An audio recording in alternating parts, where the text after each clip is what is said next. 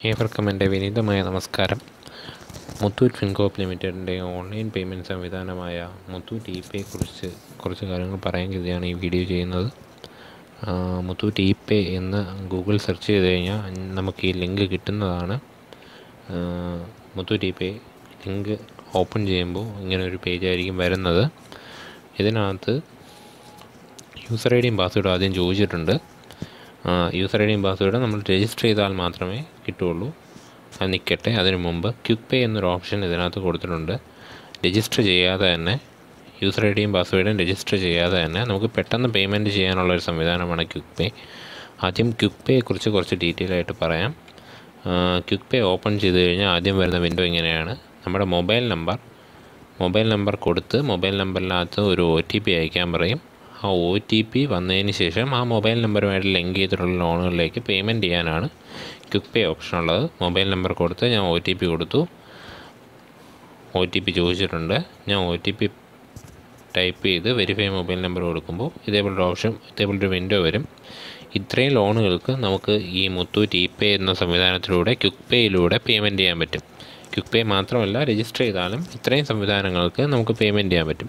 അതിൽ ആദ്യത്തേത് gold loan gold loan payment ചെയ്യണമെങ്കിൽ വേണ്ട ഡോക് വേണ്ട ഡീറ്റെയിൽ എന്ന് വെച്ച് കഴിഞ്ഞാൽ ഗോൾഡ് ലോൺ സെലക്ട് ചെയ്യുക. യു സി സി നമ്പർ എന്ന് പറയുന്ന ഒരു നമ്പറുണ്ട് അത് നമ്മുടെ പണയം വയ്ക്കുന്ന റെസീപ്റ്റ് കസ്റ്റമർ റെസീപ്റ്റിൽ തന്നെ ആ യു സി സി നമ്പറുണ്ട് ആ നമ്പർ ടൈപ്പ് ചെയ്ത് കൊടുക്കുക. E M I gold loan ആണെങ്കിൽ ലോൺ നമ്പർ ബിഗി ഗോൾഡ് ലോൺ ആണെങ്കിൽ അതിന്റെ ലോൺ നമ്പറുണ്ട് ട്വന്റി ഫോർ ഇന്റു സെവൻ ആണെങ്കിൽ U C C number special gold loan ആണെങ്കിൽ ലോൺ നമ്പർ വ്യാപാർ മിത്ര ആണെങ്കിലും loan number S M E ആണെങ്കിലും ലോൺ നമ്പർ ചിട്ടി ആണെങ്കിൽ ചിട്ടി നമ്പർ ഓട്ടോ ലോൺ ആണെങ്കിൽ ഇമെയിൽ ഐ ഡിയോ ലോൺ നമ്പറോ കൊടുക്കാം.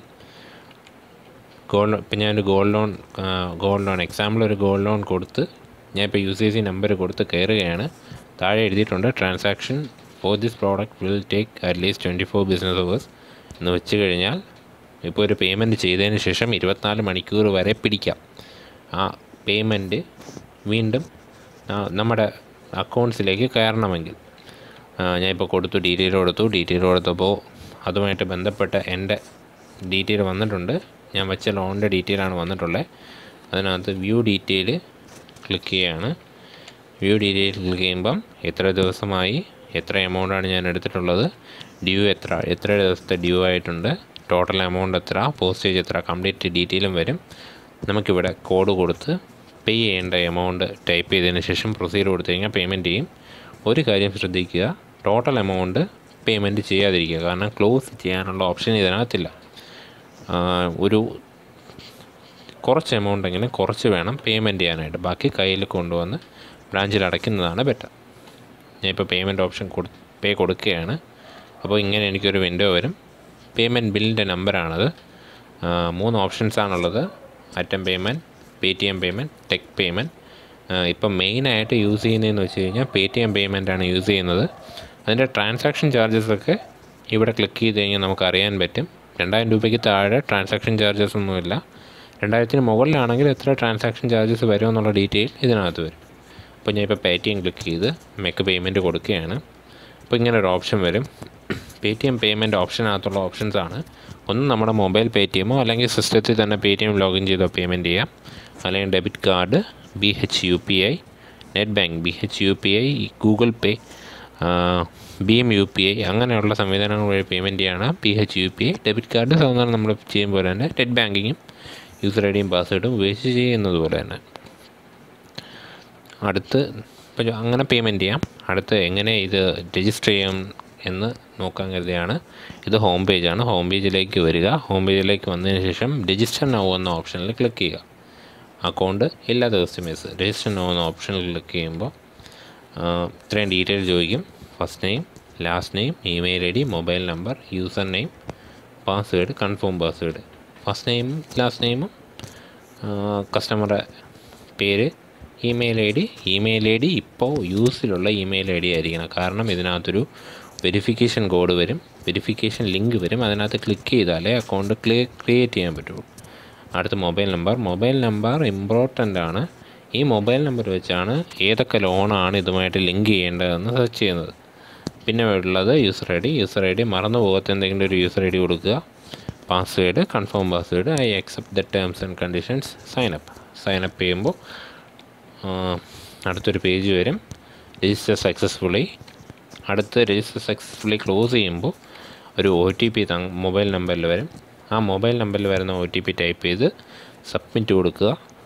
സബ്മിറ്റ് കൊടുക്കുമ്പോൾ email I D verification pending എന്ന ഇങ്ങനൊരു വിൻഡോ വരും. നമ്മുടെ മെയിൽ ഐ ഡി ചെക്ക് ചെയ്യുക. മെയിൽ ഐ ഡിക്കകത്ത് മുത്തൂറ്റ് ഫിൻകോപ്പ് ലിമിറ്റഡിന്റെ ഒരു മെയിൽ വന്നിട്ടുണ്ടാകും ആ മെയിലിൽ ഒരു ലിങ്ക് ഉണ്ടാവും. ഇതേപോലെയാണ് മെയിൽ ഐ ഡി മെയിലിനകത്ത് പ്ലീസ് ക്ലിക്ക് ചെയ്യുക എന്ന് പറഞ്ഞൊരു ലിങ്ക് ഉണ്ട്.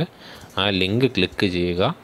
ആ ലിങ്ക് ക്ലിക്ക് ചെയ്യുമ്പോൾ ഓട്ടോമാറ്റിക്കായിട്ട് നമ്മുടെ പഴയ വിൻഡോയിൽ മെയിൽ ഐ ഡി വെരിഫൈഡ് എന്ന് പറഞ്ഞു കംപ്ലീറ്റ് ആയി ഇപ്പോൾ രജിസ്ട്രേഷൻ കംപ്ലീറ്റ് ആയി അപ്പോൾ യൂസർ ഐ ഡിയും പാസ്വേഡും നമുക്ക് കിട്ടിയിട്ടുണ്ട് ഓൾറെഡി. ആ യൂസർ ഐ ഡിയും പാസ്വേഡും വെച്ച് ഇനി ഹോം പേജിൽ പോവുക. യൂസർ ഐ ഡിയും പാസ്വേഡും കൊടുത്ത് യൂസർ ഐ ഡിയും പാസ്വേഡും കൊടുത്ത് സൈനപ്പ് സൈൻ ഇൻ ചെയ്യുക. സൈൻ ഇൻ ചെയ്ത് ഇപ്പോൾ ഫ്രഷ് ആയിട്ടുള്ള ഒരു പേജാണ്. ട്രാൻസാക്ഷൻ ഒന്നും വന്നിട്ടില്ല. സപ്പോസ് ഞാൻ ട്രാൻസാക്ഷൻ എന്തെങ്കിലും നടത്തിയിട്ടുണ്ടെങ്കിൽ അതിന്റെ ലിസ്റ്റ് താഴോട്ട് വന്നിട്ടുണ്ടാവും. ചെയ്യാൻ പറ്റുന്ന പേയ്മെന്റ്സ് എന്ന് വെച്ച് കഴിഞ്ഞാൽ ഗോൾഡ് ലോണിന് പേയ്മെന്റ് ചെയ്യാം.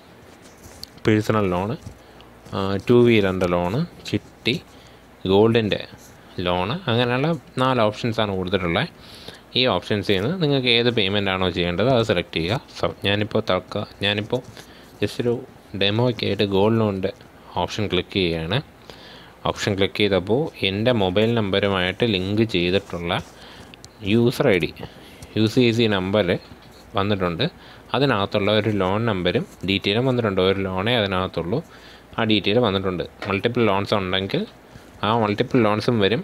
ഇപ്പം സെയിം നമ്പർ തന്നെയാണ് ഹസ്ബൻഡ് വൈഫ് ഉപയോഗിക്കുന്നതെങ്കിൽ അവർ രണ്ടുപേരുടെ ഡീറ്റെയിലും ഇതിനകത്ത് വന്നിട്ടുണ്ടാകും അപ്പോൾ അതിനകത്ത് ഡേറ്റ് പേര് ഏത് ബ്രാഞ്ചാണ് എഫ് നമ്പർ എല്ലാ ഡീറ്റെയിലും ഉണ്ട്. ഈ പേ ടി എം കോഡെന്ന് വെച്ച് കഴിഞ്ഞാൽ പേ ടി എം നമ്മളെ മൊബൈൽ ആപ്ലിക്കേഷൻ വഴിയാണ് പേയ്മെന്റ് ചെയ്യുന്നതെങ്കിൽ മൊബൈൽ ആപ്ലിക്കേഷനിൽ ബിൽസ് ആൻഡ് പേയ്മെന്റ്സിനകത്ത് റീപേയ്മെന്റ് അല്ല ലോൺ റീപേയ്മെന്റ് എന്ന ഓപ്ഷൻ ഉണ്ട്. ആ ഓപ്ഷൻ കൊടുത്തു കഴിഞ്ഞാൽ അതിനകത്ത് ലെൻഡർ ആരെന്ന് ചോദിക്കും. മുത്തൂറ്റ് ഫിൻകോപ്പ് ലിമിറ്റഡ് ക്ലിക്ക് ചെയ്യുക. അതിനകത്തൊരു കോഡ് ചോദിക്കും. ആ കോഡ് ഈ കോഡാണ് കൊടുക്കേണ്ടത്. ഈ കോഡ് കൊടുത്തു കഴിഞ്ഞാൽ അതിനകത്ത് തന്നെ എത്ര രൂപ അടയ്ക്കാൻ പറ്റും എത്ര രൂപ അടയ്ക്കണം എന്നുള്ള ഡീറ്റെയിൽ വരും. അങ്ങനെയും പേയ്മെന്റ് കംപ്ലീറ്റ് ചെയ്യാം. യു ഡീറ്റെയിൽ കൊടുക്കുക. യു ഡീറ്റെയിൽ കൊടുക്കുമ്പോൾ നേരത്തെ വന്ന പോലെ തന്നെ ഫുൾ ഡീറ്റെയിൽ വരും താഴേക്ക്. ഓ താഴേക്ക് ഡീറ്റെയിൽ വരും. അതിനകത്ത് ഡേറ്റോ എമൗണ്ടും എല്ലാ ഡീറ്റെയിലും വന്നിട്ടുണ്ട്. തിരിച്ച് നമ്മൾ പേയ്മെന്റ് ഓപ്ഷനിലേക്ക് പോവുകയാണ്. പേയ്മെന്റ് നേരത്തെ ചെയ്ത പോലെ തന്നെ കോഡ് കൊടുക്കുക എമൗണ്ട് കൊടുക്കുക പ്രൊസീഡ് കൊടുക്കുക. അതിനുശേഷം മറ്റു ഓപ്ഷൻസ് ഉണ്ട്. ആ ഓപ്ഷൻസ് അനുസരിച്ച് കൊടുത്ത് പേയ്മെന്റ് ചെയ്യുക.